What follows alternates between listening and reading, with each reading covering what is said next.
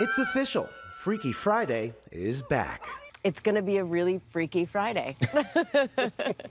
Much freakier than you would expect. We sat down with Lindsay Lohan to talk swapping bodies once again with on screen mom Jamie Lee Curtis in the sequel to Freaky Friday, over 20 years after the original hit.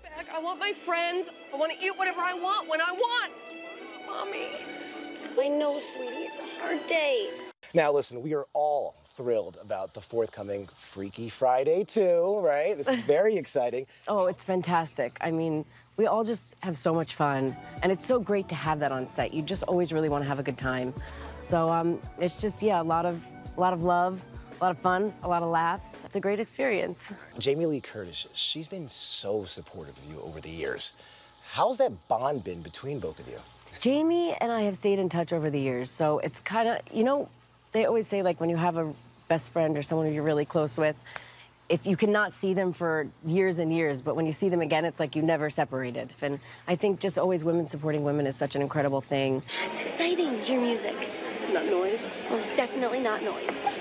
So, what's it like to get back into her head, per se? Oh, well, I can't say much. but um, I am taking guitar lessons. And um, I do have a daughter in the movie. This is so freaky.